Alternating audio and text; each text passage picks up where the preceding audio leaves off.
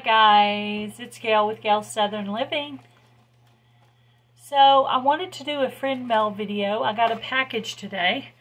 But before I show you the package, I wanted to show you my last, I think it's my last, Christmas card of the year.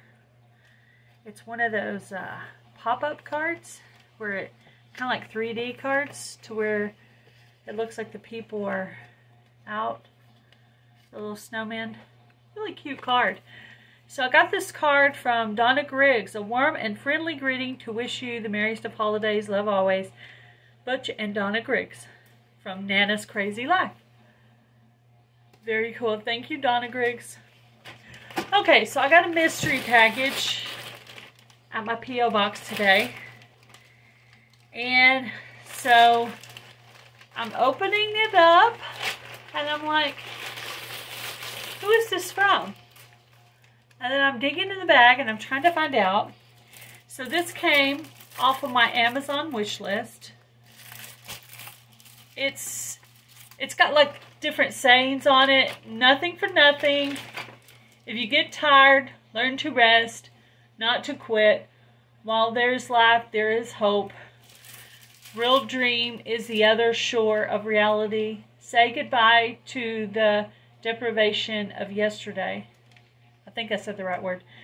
Dream, live, learn, keep on, never give up. Power, believe in yourself. Knowledge, if you want to be crowned with success, don't waste every day.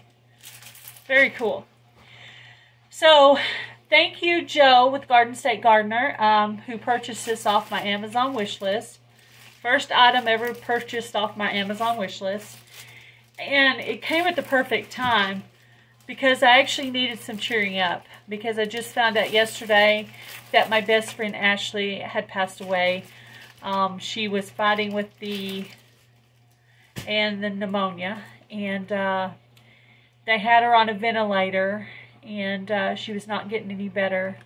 Um, so I actually knew this one was coming um, but still, I was at home cooking and I got the news and it still hit me and I did not hold it in. I cried when I was ready to cry and I cried again and I cried again today. And, but I'm just trying to get it out and uh, I think her, her funeral's coming up, but I don't know what day it's going to be on yet.